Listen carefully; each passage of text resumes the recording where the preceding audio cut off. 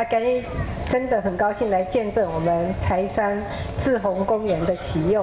那么将来我们这个柴山志宏公园平时是一个市民游憩的场所，在汛期来临的时候，志宏池也可以有效的吸收短时间增加的水量，改善我们鼓山地区的淹水的问题。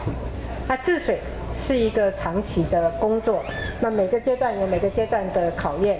那么现在的气候变迁的挑战，全台湾短延时强降雨的现象越来越常见。我们是没有办法完全把水阻挡在外面，但是我们可以找到跟水共处的方法。所以自洪池的设计跟设置，就是我们跟水共处的一个重要的工程。那透过前瞻计划的水环境的项目，我们会推动滞洪池以及各种综合性的整治工作。我们预计要改善全国两百平方公里的容易淹水的区域哦。我们也会增加供水，并且运用新的科技来稳定旱季的水源供应。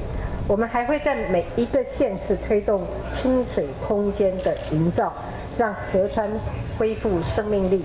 今天我们看到台山志宏公园的正式的启用，这背后经过了很多的协调，也克服了许多工程上的困难。虽然每一步都不容易，可是我们看到建设落成的时候，每个人都会忘记辛苦，都会充满了感动。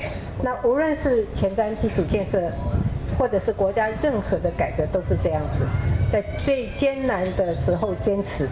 最后就会得到最甜美的果实，所以我要邀请大家，我们继续努力，来这会继续拍拼，好不好？高雄加油，台湾加油，谢谢大家。